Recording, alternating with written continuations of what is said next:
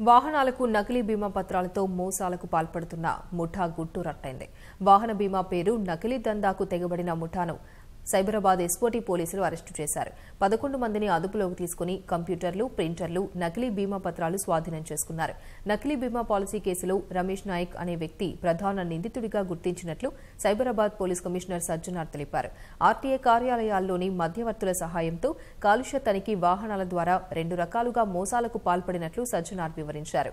నిజమైన వాటిని సైతం పోల్చుకోలేని విధంగా ప్రత్యేక సాఫ్ట్వేర్తో బీమా పత్రాలు రూపొందిస్తున్నట్లు సిపి తెలిపారు.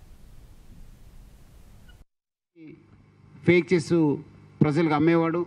పెద్ద సంఖ్యలో అమ్మారని చెప్పి మనకు తెలిసింది ఇప్పటిదాకా తెలిసింది మనకు సీజ్ చేసింది thousand one twenty five seize చేశాను. ఇంకా నైన్ హండ్రెడ్ దాకా సీజ్ అయ్యే అవకాశం ఉంది. దాదాపు రెండు వేల ఫేక్ ఇన్సూరెన్స్ పాలసీస్ని మనము సీజ్ చేయడం జరిగింది.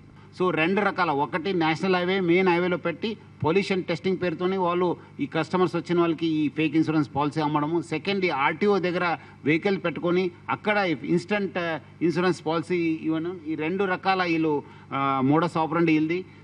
ఇది చూస్తే మీరు డిఫరెన్షియేట్ చేయలేరు. ఆల్మోస్ట్ సిమిలర్ ఉంటుంది.